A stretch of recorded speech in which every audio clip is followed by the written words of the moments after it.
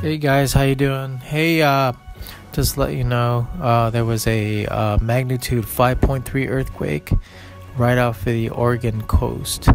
Um, this was happened at 8 o'clock in the morning, 175 miles from uh, Reedsport, according to the USGS, on that 9 miles um, from the actual. Um, activity on that. So, so some of the fa- uh, quakes swarm in the same areas, uh, larger in the um, areas on that. So, um, again, uh, a 5.3 magnitude earthquake off of the Oregon coast. That's that's pretty big for uh, the magnitude on that reported on that. So.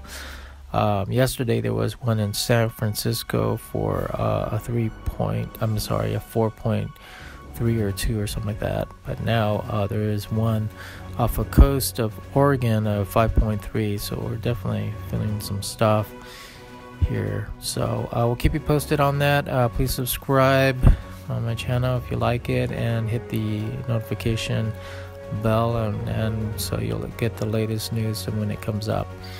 Uh, if you want to donate, you can hit that as well, and uh, we'll keep you posted regarding these things. So definitely, these are important things to be aware of. So, um, thank you for listening.